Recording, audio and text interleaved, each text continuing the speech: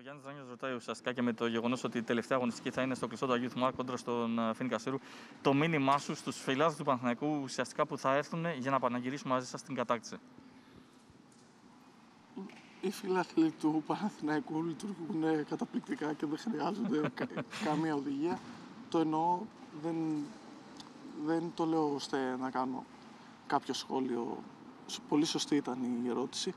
Απλά από 16 χρονών που είμαι στην ομάδα, από το Αιγίνιο έως τα δύο πρωταθλήματα που έχουμε καταφέρει να κατακτήσουμε και το ένα League Cup, μακάρι να πάρουμε και τον επόμενο στόχο, τι να σας πω, από την Κομωτινή, στην Αλεξανδρούπολη, στην Ορεστιάδα παλιότερα.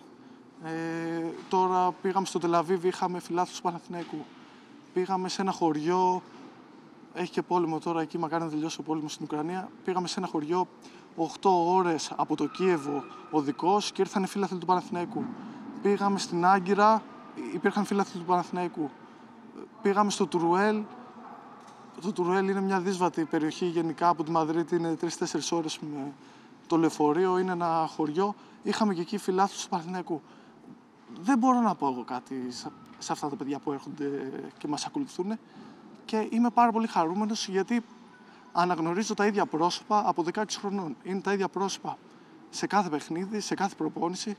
Έρχονται και όλοι, όλοι δε- δε- δεν έχω να πω τίποτα. Να έρθουν να πανηγυρίσουν. Σε ευχαριστώ Τίποτα. πολύ. Σας ευχαριστώ εγώ.